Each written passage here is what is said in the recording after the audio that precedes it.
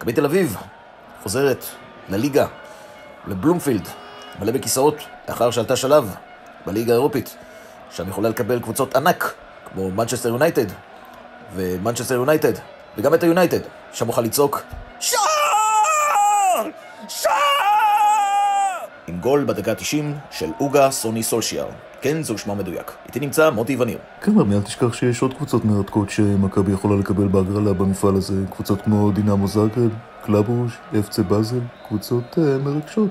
אלמוג מעלה את הכדור, קדוס! עם הצלה!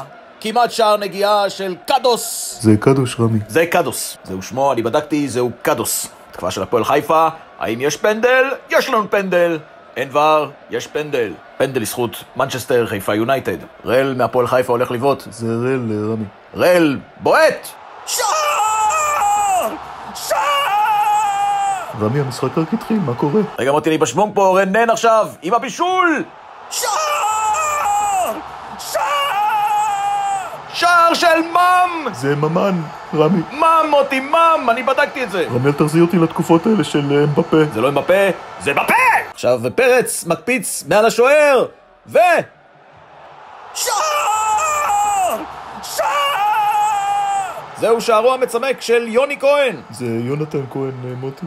רמי. זה לא רמי, זה סמי. אבל לאחר בדיקה זה בהחלט רמי. אוקיי, מוטי. קרן קצרה הפעם, גולסה עם הכדור, מגביה, ו... והנה שתיים שתיים! שוויון! פיש-פיש! רמי, מה קורה? מאיפה השמות האלה? זה פשיץ'. פיש-פיש מוטי, פיש-פיש! אני בדקתי. סיימון וגורפינקל בהתקפה, הכדור מוגבה, פדיד! פנימה! שלוש שתיים! הפועל מנצ'סטר חיפה! רמי זה... פדיד! פדיד! רגע, רגע, הנה זה בא, הנה זה בא! זה בא, כן!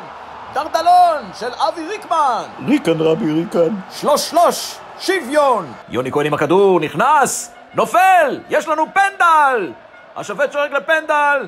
תצוגת תכלית של יוני שייקספיר כהן! ברחבה! שער! שער!